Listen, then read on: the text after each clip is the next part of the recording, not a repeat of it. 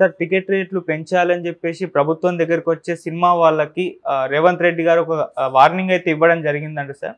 ఇంతకు ఆయన ఏ వార్నింగ్ ఇచ్చారు? మరి అది సినిమా ఇండస్ట్రీ పైన ఎటువంటి ఎఫెక్ట్ చూపిస్తుంది సార్? యా నిజానికి ఇది ఒక ఇంట్రెస్టింగ్ ఆస్పెక్ట్ అని చెప్పచ్చు. మామూలుగా అయితే రేవంత్ రెడ్డి ఈ మధ్య సినిమా వాళ్ళతో బిహేవియర్ చూసుకున్నప్పుడు ఆయన కొన్ని విషయాల్లో ప్రోగానే ఉన్నాడు. మొన్న కల్కి కూడా ఇక్కడ టికెట్లు పెంచుకోవడానికి అవన్నీ ఇచ్చారు. అయితే ఈ మధ్యలో చిరంజీవి గారు ఏం చేశారంటే ఆయన ఒక వీడియో చేశాడు. అదేంటంటే డ్రగ్స్ వాడద్దు అని అప్పీల్ చేస్తూ ఒక వీడియో చేశాడు. అది ఒక రకంగా సినిమా వాళ్ళ కుంభం వచ్చిందని చెప్పొచ్చు. రేవంత్ రెడ్డి చూసి ఇప్పుడు ఏం చేశాడంటే రేవంత్ రెడ్డి ఒక హెచ్చరిక అనొచ్చు దాన్ని లేదా ఒక ఆర్డర్ పాస్ చేసినట్టు అనొచ్చు ఏమైనా అనొచ్చు. అంటే రేవంత్ రెడ్డి చెప్పింది ఏంటంటే సినిమా ఏ సినిమా తీసినా ఆ సినిమా ప్రొడ్యూసర్లు ఆ నటీనటులతో ఒక సపరేట్గా రెండు వీడియోలు చేయాలి. ఒకటి సైబర్ క్రైమ్ చేయొద్దని చెప్తూ దాని మీద అవేర్నెస్ క్రియేట్ చేసే విధంగా ఒక వీడియో చేయాలి. రెండోది డ్రగ్స్ మీద అవేర్నెస్ క్రియేట్ చేస్తూ ఒక వీడియో చేయాలి. ఈ రెండు వీడియోలు చేసి ఈ సినిమాలు ఏ థియేటర్లు అయితే ఎగ్జిబిట్ చేస్తారో వాళ్ళకి ఇవ్వాలి. థియేటర్లు కూడా కంపల్సరీగా ఇది వేయాలి. వేయకపోతే థియేటర్లకు అనుమతి రద్దు చేస్తారు.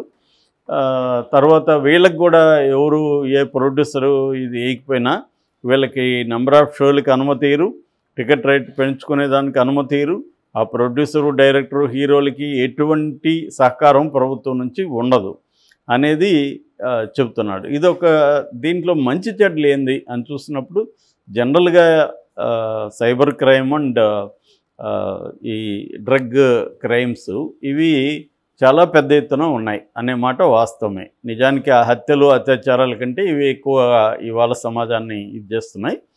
సో దీని మీద ప్రజల్లో అవేర్నెస్ క్రియేట్ చేయాలి. అంటే ఒకటి ఏంటంటే దీంట్లో రెండు రకాలు ఉన్నాయి. Cyber crime for example. Cyber crime చేసే వాళ్ళు ఎవరు వాళ్ళని ఐడెంటిఫై చేసి పట్టుకోవడం. దానికి సంబంధించి నేషనల్ లెవెల్లో ఇప్పుడు కొత్తగా వచ్చిన బిఎన్ఎస్ భారతీయ న్యాయ సంహిత భారతీయ నాగరిక సురక్షా సంహిత ఈ రెండిట్లో కూడా సైబర్ క్రైమ్ మీద కూడా కొన్ని సెక్షన్లు తీసుకొచ్చి కఠినతరం చేశారు. అయితే కంప్లీట్గా సైబర్ క్రైమ్ని పోలీసులు లేకపోతే ఇన్వెస్టిగేటివ్ ఏజెన్సీలు కట్ చేయడం కష్టం. ఎందుకంటే మనం ఆ మధ్య కూడా చూసాము విశాఖలో నుంచి కొంతమందిని తీసుకెళ్ళిపోయి అక్కడ ఏం చేశారని. సో వేరే దేశాల్లో నుంచి ఈ క్రైమ్ చేస్తున్నారు సో మన తెలుగు వాళ్ళనే తీసుకెళ్తున్నారు వేరే దేశాల్లో ఉద్యోగాలు అని చెప్పి. అక్కడ వీళ్ళని బలవంతంగా ఈ క్రైమ్స్ సైబర్ క్రైమ్స్ వీళ్ళ చేత చేయిస్తున్నారు తెలుగులో మాట్లాడితే మన వాళ్ళు కన్విన్స్ అవుతారు కదా. అట్లా ఏ భాషలో ఆ భాషలోకి తీసుకెళ్ళి విదేశాల్లో ఉద్యోగాలు ఇస్తామని ఇది ఒక పెద్ద ఇంటర్నేషనల్ మాఫియా లాగా పనిచేస్తుంది.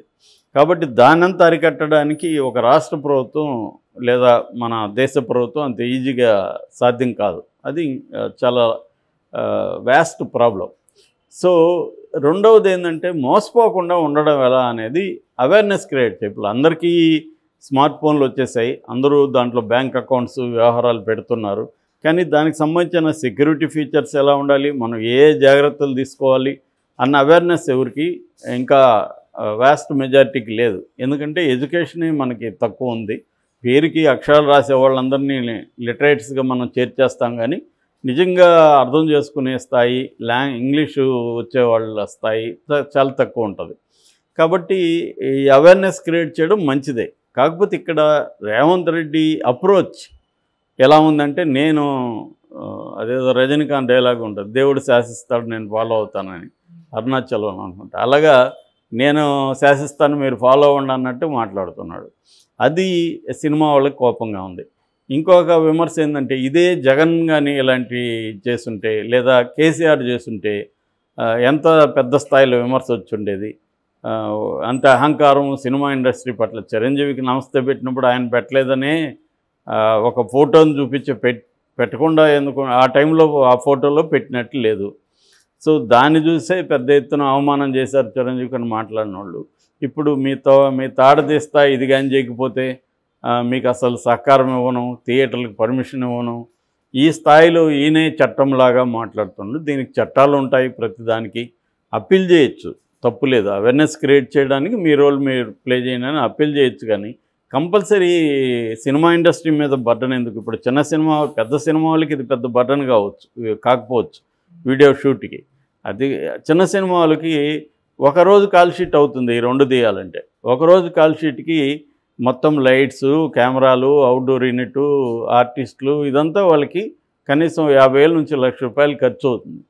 మరి ఆ డబ్బులు ఎవరు ఇస్తారు వాళ్ళకి?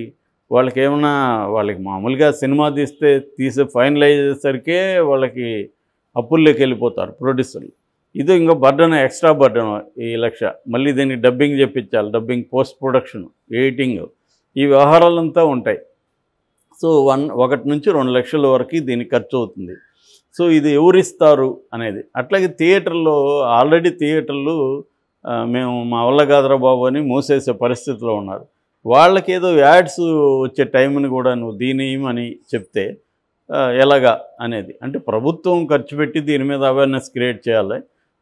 సినిమా వా- పిలిపివచ్చు సినిమా వాళ్ళకి ఇప్పుడు పెద్ద దానికంటే కూడా పెద్ద పెద్ద హీరోలతో సినిమా ఈ మన సమాచార శాఖ కోఆర్డినేట్ చేసుకొని నాగార్జున చిరంజీవి ఇలాగా ఉన్న ప్రభాసు ఇలాగా వాళ్ళతో చేయించి దీన్ని చేయొచ్చు. అట్లా కాకుండా ప్రతి సినిమా ఇది చేస్తే ఎవడో ఇప్పుడు చిన్న సినిమాలో పనికిమాల ఆర్టిస్ట్ ఎవడో వాడు చేయడం వల్ల ఎవడు చూస్తాడు? ఆల్రెడీ ఇప్పుడు పొగాకు నిషిద్ధం అంటున్నారు. అది ఎప్పుడు ఇస్తానే ఉన్నారు. అది వచ్చినప్పుడు అంతా తల్ల కిందికి దించుకుంటున్నారు? ఎందుకంటే అంత ఘోరంగా ఉంది అది. దాన్ని చూడలేక. దానివల్ల ఏమన్నా తగ్గిందా? దీని మీద ఏమి స్టడీస్ కూడా లేవు. ఎందుకంటే ఒక పక్క నువ్వు విచ్చలవిడిగా వదిలేసి పర్మిషన్లు ఇచ్చి మనకు అన్నీ కూడా ఏమంటే మన ఇండియాలో హిపాక్రసీ ఒక పక్క తాగమని వీళ్ళే లైసెన్సులు ఇచ్చి తాగే వాళ్ళని మళ్ళీ ఇబ్బందులు పెట్టడం సిగరెట్ తాగేదానికి లైసెన్సులు ఇచ్చేసి అమ్మేదానికి లైసెన్స్ ఇచ్చి దాని మీద మాత్రం వేయడం సినిమాల్లో వేస్తున్నప్పుడు కింద వేయడం ఇదంతా కూడా ఏంటంటే నువ్వు పర్మిషన్లు ఇస్తున్నావు. ఇప్పుడు betting apps betting apps lottery కింగే ఎక్కువ ఫండ్స్ ఇచ్చాడు రాజకీయ పార్టీలకి అందరికీ. బీజేపీకి ఎక్కువ ఇచ్చింది వాళ్ళే. మరి వాళ్ళ దగ్గర ఫండ్ తీసుకొని వాళ్ళ బిజినెస్లకి నువ్వు సహాయం చేస్తూ మళ్ళీ ఆ ప్రోడక్ట్స్ని వాడొద్దని చెప్పి దానికి నువ్వు అవేర్నెస్ క్రియేట్ చేయకపోతే నీ అంత చూస్తా అని వార్నింగ్లు ఇవ్వడం. ఇది ఏమి ప్రజాస్వామ్యం లేకపోతే ఎటువంటి పరిస్థితి అనేది ఇవాళ చర్చకు వచ్చింది. నిజానికి డ్రగ్స్ని కంట్రోల్ చేయడానికి ప్రభుత్వం వైపు నుంచి పోలీసులు కానీ ప్రభుత్వం వైపు నుంచి కానీ సీరియస్గా తీసుకుంటే అసలు డ్రగ్ సప్లైని నువ్వు కట్ చేయకుండా అవేర్నెస్ క్రియేట్ చేస్తానంటే ఏం లాభం? అది అవేర్నెస్తో అయ్యే పని కాదు. డ్రగ్స్ని నువ్వు సప్లైని కట్ చేయాలి. సో అది జరగట్లేదు. ఈజీగా దొరుకుతున్నాయి ఇవాళ. ఎక్కడ ఎనీ పొలిటి ఎనీ పార్టీ చాలా యూత్లు పార్టీలు జరుగుతుంటాయి. ఆ పార్టీలంతా డ్రగ్స్ వస్తున్నాయి వాళ్ళు వేసుకుంటున్నారు. అందరికీ మన చాలామంది చెప్తున్నారు మొన్న ఈ పార్టీకి పోయాను సార్ ఫుల్ డ్రగ్స్ సార్ అక్కడ అని చెప్తున్నారు.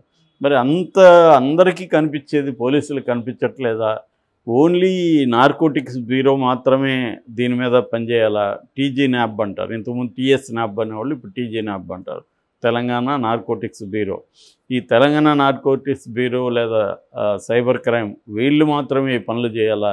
మిగతా లా అండ్ ఆర్డర్ డి- పోలీసులకు కూడా ఇది చేయొచ్చు కదా. ట్రైనింగ్ ఇచ్చి వాళ్ళని కూడా డ్రగ్స్ మీద ఫోకస్ చేస్తే ఎక్కడికక్కడ లోకల్ పోలీస్ స్టేషన్కి అయితే విషయాలు బాగా తెలుస్తాయి. ఎక్కడేం జరుగుతుంది? ఎందుకంటే జనరల్గా క్రైమ్లో ఇన్వాల్వ్ అయిన వాళ్ళు ఎక్కువ ఈ డ్రగ్స్ని కూడా ఇచ్చేస్తుంటారు సో ఇది చేయకుండా సినిమా వాళ్ళని కూడా ఇన్వాల్వ్ చేయొచ్చు కానీ వాళ్ళని ఏదో బలవంతంగా నేను నీకు ఒక పని చేస్తాను కాబట్టి నువ్వు నాకు పని చేయి అన్నట్టుగా ఉంది అన్న విమర్శలు వస్తున్నాయి. ఓవరాల్గా అవేర్నెస్ క్రియేట్ చేయడం ఖచ్చితంగా మంచిదే. కాకపోతే దాని అప్రోచ్ ఎట్లా చేయాలనేది ఇంపార్టెంట్ అయితే ఈ క్రమంలో రేవంత్ రెడ్డి కొన్ని స్టెప్స్ అయితే తీసుకుంటున్నట్టు మనకు కనబడుతుంది. అంటే ఈ డిపార్ట్మెంట్స్కి ఎక్విప్మెంట్లు కార్లు వాళ్ళకి వెహికల్స్కి వాటికి ఫండ్ ఇవ్వడం అనేది జరిగింది. నిన్న సైబర్ డిపార్ట్మెంట్ కూడా పద్నాలుగు కార్లు యాభై నాలుగు బైకులు ఇచ్చారు. అట్లాగే టీజీ న్యాబ్ అంటే నార్కోటిక్స్ బ్యూరోకి కూడా ఇరవై ఏడు కార్లు యాభై తొమ్మిది బైక్స్ అవి ఇచ్చారు. నిన్న కమాండ్ కంట్రోల్లో రేవంత్ రెడ్డి మాట్లాడారు. సో తగిన సిబ్బందిని పెంచుతాం తగిన ఇది చేస్తా ఉన్నాడు. అది ఖచ్చితంగా అది అప్రిసియేట్ చేయాలి రేవంత్ రెడ్డిని ఆ విషయంలో. అట్లాగే పోలీసులకు కూడా ఆయన ఒక బోధించాడు. అదేంటంటే ఫ్రెండ్లీ పోలీస్ అంటే అర్థం ప్రజలకు ఫ్రెండ్లీ అని కానీ క్రిమినల్స్కి ఫ్రెండ్లీ అని కాదు. సో పోలీసులు జాగ్రత్త అని చెప్పాడు. అది దాని మీద దృష్టి పెట్టాలి. ఎందుకంటే పోలీస్ సహకారం లేకుండా కూడా ఏ క్రైము పెద్ద స్థాయిలో జరగదు ఎప్పుడైనా. పోలీసుల వాటాలు పోలీసులకు వెళ్తుంటాయి. ఇప్పుడు పబ్బులు ఇష్టం వచ్చినప్పుడు పబ్బుల నుంచి ప్రతి పబ్బు నుంచి వాటాలు వెళ్తుంది. దా అలాంటివి ఎలా కంట్రోల్ చేస్తారనే దాని మీద కూడా